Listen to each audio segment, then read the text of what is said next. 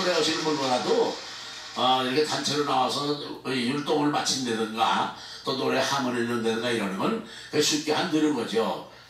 뭐 여러분들을 위해서 봉사하는 분들이 또 이렇게 무대에서 봉사를 했습니다. 얼마나 좋습니까? 아, 그럼 여기서 오늘 어, 심사위원 두 분을 소개해 드리겠습니다. 어, 작곡가 원희명님을 소개해 드리겠습니다. 박수 한다. 네. 네, 그 옆에 계신 분은 저 아, 작사가 김동찬님이 나오셨습니다.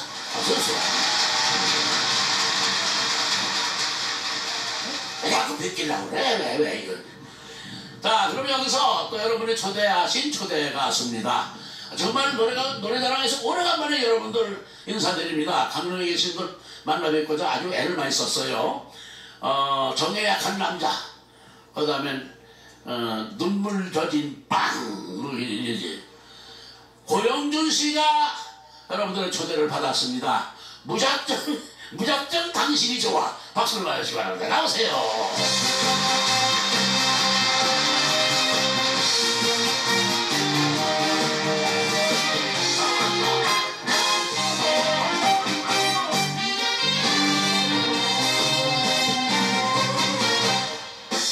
무작정 당신이 좋아